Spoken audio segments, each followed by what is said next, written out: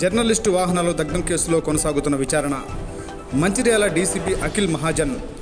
బెల్లంపల్లి పట్టణం పాలిటెక్నిక్ కళాశాల సమీపంలో ఇందిరమ కాలనీలో నివసిస్తున్న జర్నలిస్టు వెంకటేష్కు చెందిన Swift Dzire car Honda Livo bike రెండు వాహనాలను దగ్ధం చేసిన కేసులో పూర్తి స్థాయిలో పలువురిని విచారిస్తున్నట్లు డీసీపీ అఖిల్ మహాజన్ మంగళవారం తెలిపారు.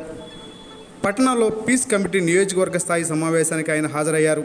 ఈ సందర్భంగా జర్నలిస్టు వాహనాలు దగ్ధం కేసు దర్యాప్తు వివరాలు ఆయన వెల్లడించారు.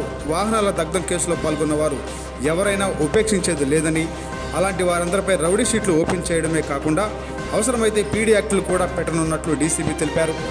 ఇంకా విచారణ కొనసాగుతుందని త్వరలోనే నిందితులను పూర్తి వివరాలను వెల్లడించనున్నట్లు ఆయన పేర్కొన్నారు.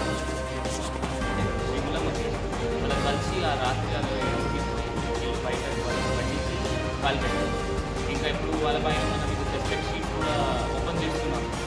నెక్స్ట్ ఎవరైనా ఇట్లా యాక్స్ ఇది ఇట్లా చేయకండి మనం తప్పకుండా స్ట్రింజెంట్ యాక్షన్ uh, తీసుకుంటాం. రిక్వైర్ చేస్తాం. Rowdy sheet separate sheet open చేస్తాం. అప్కమ్ అయితే మనం విజిట్ మీడియాకి కూడా పెడతాం ఇప్పుడు టౌన్లో మనకి మంచి లోన్ అండ్ ఆర్డర్ ఇట్లా జరగదు లోకల్ టౌన్లో